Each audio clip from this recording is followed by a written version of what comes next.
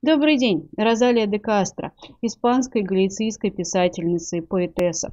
Она родилась в Сантьяго с 10 лет, жила в Сантьяго, получала там образование в местном университете.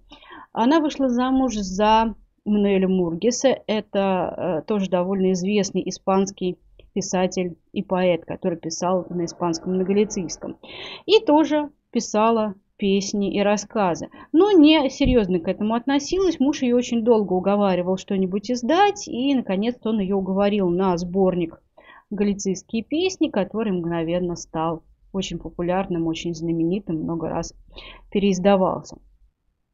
А, Розалия де Кастро похоронена в Сантьяго. В какой-то момент ее прах перенесли в пантеон великих людей Галиции – в монастырь Сан-Доминго де Бонаваль, потому что э, она писала больше на галицийском, и она считается одним из трех великих поэтов второй половины XIX века, которые продвигали и популяризировали галицийский язык. Жизнь у нее была довольно трудная. Э, она родила семерых детей, некоторые умерли в младенчестве, э, и умерла в 49 лет от рака – и умирала довольно тяжело, тогда не было ни, ни обезболивающих, ни возможностей. Она описывает свой опыт умирания, она описывает свой опыт потери детей, она описывает такую жизнь простой э, галицийской женщины, не, не, не простой в смысле крестьянки, а, в общем, простой, но из, из интеллигенции. А многие ее песни, многие ее стихи выросли из детских песен, стихов, которые она пела своим детям, придумывала и пела своим детям. А, музей, э, музей Розалии де Кастро находится в Падроне. Это дом, где они жили с мужем почти всю жизнь. То есть она только в молодости жила в Сантьяго и прах был туда перенесен, а прожила она в Падроне, это около 25 километров от Сантьяго на португальском пути. Если вы идете в Сантьяго по португальскому пути, туда можно зайти. А, музей посвящен ее поэзии, посвящен ее жизни, посвящен быту того времени.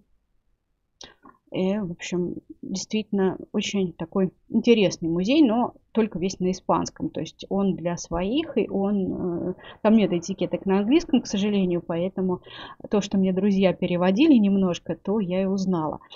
А как бы глобально мне не удалось много всего почитать про Розалию де Касте, потому что это все на испанском и галицийском. А в Сантьяго стоит ей монумент. Очень красивый монумент в стиле модерн, хотя это такой модерн Сантьяго де Компостела, который очень похож на мотивы и барокко, и 16 века, вот эти вот круглые детальки, геометрически обрубленные, то есть можно вполне себе представить, что это тот самый 16, 17, 18 век Сантьяго. А, и тот же камень серый, и те же мотивы, то есть в Сантьяго и модерн тоже очень похож на ар-деко и барокко и возрождение. А, то есть такой детали и мотивы по всем стилям гуляют примерно одинаковые. Очень геометрические, очень четкие. А, очень красивый памятник, он находится в садах Аламеда. Это место, откуда начиналась Сантьяго, там стоит самая древняя церковь Сантьяго, и туда стоит погулять, оттуда прекрасный вид на соборы, на старый город.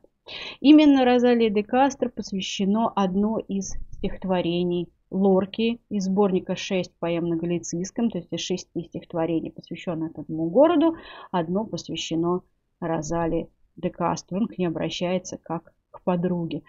А, хотя, конечно, они не встречались, они из разных поколений. А, спасибо за внимание.